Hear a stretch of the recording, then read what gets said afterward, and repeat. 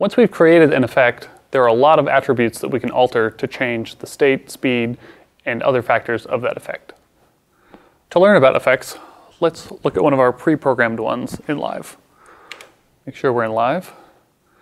Let's go to Q out, enter. And let's bring up group 12 to full. And we're gonna put that in focus palette two. Now from here, we're going to apply our effect. We're going to use effect 901, which is our circle effect. So you can see that immediately starts running. From our effect tab, let's get there with effect effect. We can make some edits here. So over on the right-hand side, you'll see the effect type is focus, which is one, a type of our relative effects. The cycle time is five. If we edit that, it will speed up or slow down accordingly. If I change this to a cycle time of three, it's going to go faster. Because now it's completing one revolution in three seconds instead of five seconds.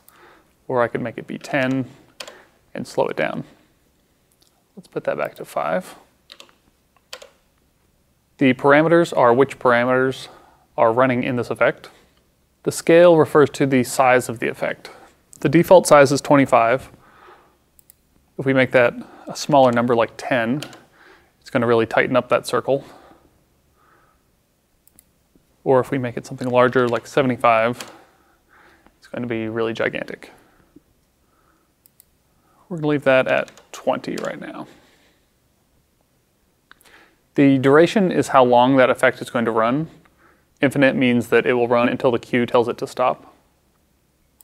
Attributes refer to which direction the effect is running. So if I switch this to reverse, those will run in the opposite direction.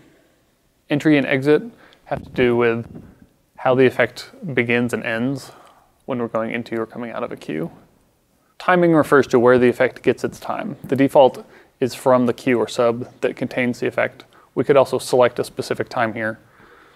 Grouping determines how channels running the effect will be distributed throughout the pattern.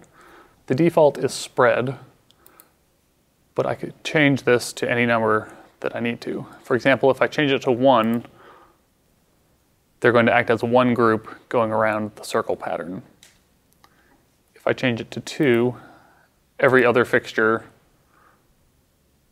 is going to go around that circle. In this case, since there are five fixtures, five is the same as spread.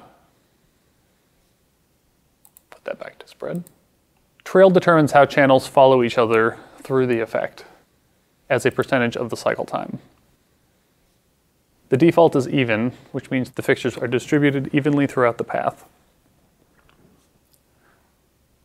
If I change it to solo, the first fixture will execute the entire cycle, and when that's finished, the second fixture will, and so on. If I put a trail of 10%, the fixtures will follow each other with a slight lag. Feel free to play with these settings until you get the effect that you're looking for.